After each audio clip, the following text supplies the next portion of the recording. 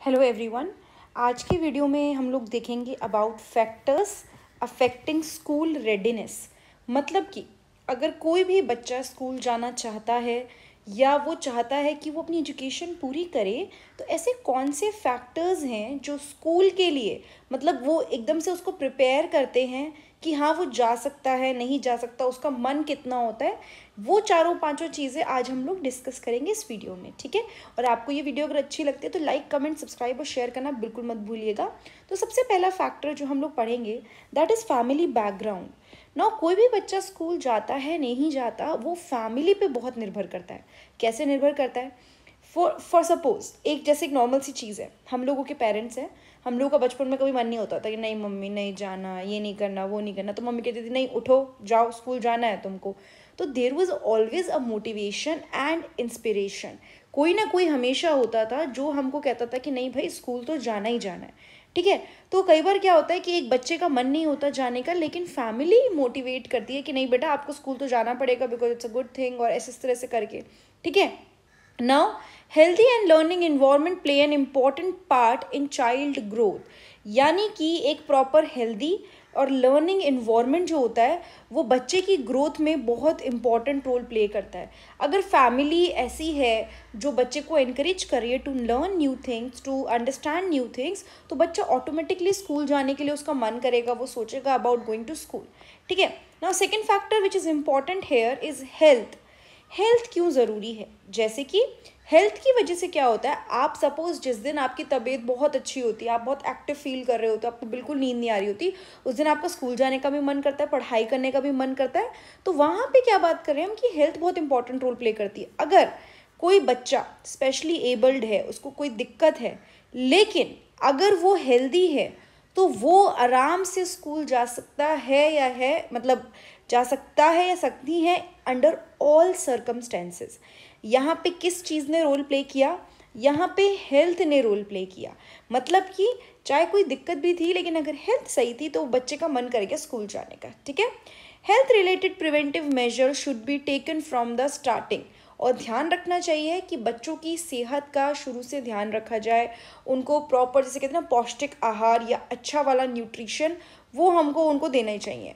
ठीक है? न्यूट्री मतलब बेसिकली न्यूट्रिएंट्स होते हैं जो उनके खाने में प्रॉपरली होने चाहिए and other things as well अगर वो स्पेशली एबल्ड हैं तो डेफिनेटली उनको और ज़्यादा एक्स्ट्रा केयर की ज़रूरत है।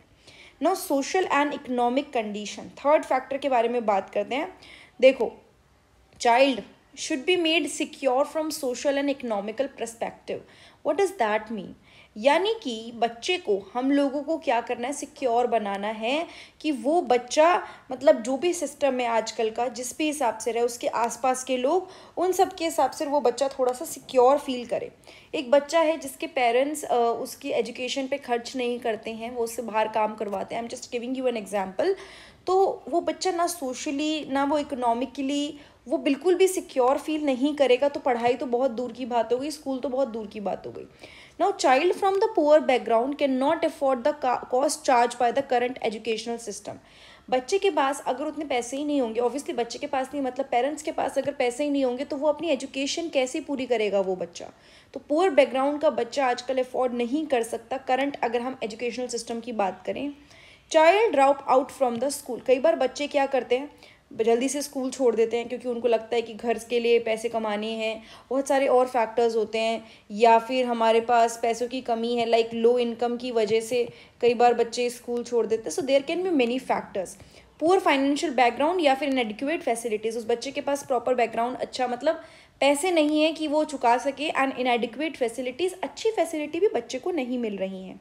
कल्चरल बैरियर्स यानी कि अगर बच्चे को लग रहा है कि कहीं ना कहीं वो एडजस्ट नहीं कर पा रहा है there is some culture barrier या जिसे बोलते हैं कई बार बहुत सारे डिफरेंस होते हैं। जैसे कि आपकी क्लास में हो सकता है कोई और आ, मतलब जिसे कहते हैं ना कि लैंग्वेज के बच्चे हो सकते हैं या और कहीं और जगह से बिलोंग कर सकते हैं और हम लोग वहाँ एकदम जाएँ और हमें लगे कि हमारे कल्चर से अलग कल्चर इन लोगों का है तो एडजस्ट होने में प्रॉब्लम होती है। जैसे एक छोटा सा केस ले लीजिए आप बाहर की कंट्री में जाते हैं ठीक है तो आपको वहाँ पे हर एक चीज़ नहीं दिखेगी। आपको ये नहीं लगेगा कि हाँ ये तो हमारे वहाँ भी नॉर्मली है। नहीं, आपको बहुत सारी नई चीज़ें दिखेंगी तो it will take some time to adjust according to the culture ठीक है?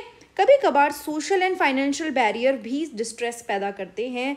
यानी कि इसकी वजह से अगर बच्चे को लग रहा है कि वो ढंग से स्कूल नहीं जा पा रहा है there is no proper financial facilities उसकी वजह से डिस्ट्रेस क्रिएट हो सकता है।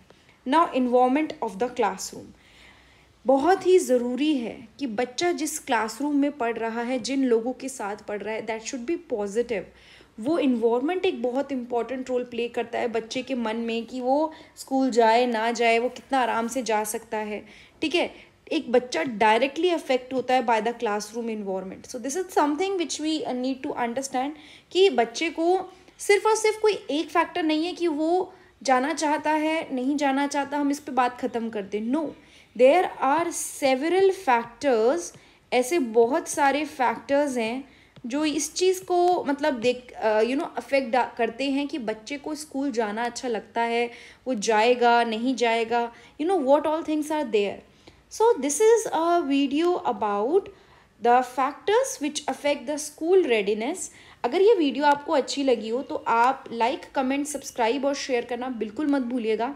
आप नीचे कमेंट बॉक्स में कमेंट कर सकते हो कि आपको किस टॉपिक पे वीडियो देखनी है, कि आपको कोई पर्टिकुलर टॉपिक नहीं मिला है बीएससी एमएससी दोनों का।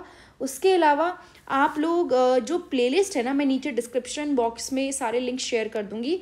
आप वो प्लेलिस्ट में भी जितने भी लिंक्स हैं, उनको खोल के देख सकते हो। उसमें प्लेलिस्ट मतलब बहुत सारे अलग अलग सब्जेक्ट टॉपिक के ऊपर मैंने वीडियोस कवर करी हुई हैं। कुछ नोट्स की फॉर्म में है, कुछ पीपीटी की फॉर्म में आपको दोनों मिल जाएँगी।